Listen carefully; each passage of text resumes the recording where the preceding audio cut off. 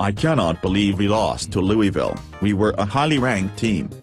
Who needed to beat South Carolina on their third straight road game, and an LSU team that was coached by the great strategist Les Miles. Yes but those were good teams. LSU lost to the third-place team in the ACC on a neutral site, you beat a Florida State team that was in a one-score game with Northern Illinois. The only reason you were in the Sugar Bowl is that Georgia lost to Alabama in a close game.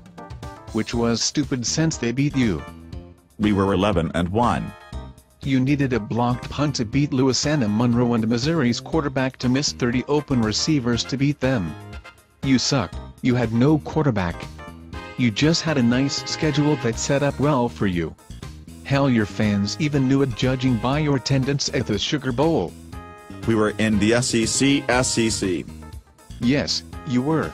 You were the fourth best team in the SEC and judging by the Sugar Bowl you might not have been the third best team in the Big East. I cannot wait till next year.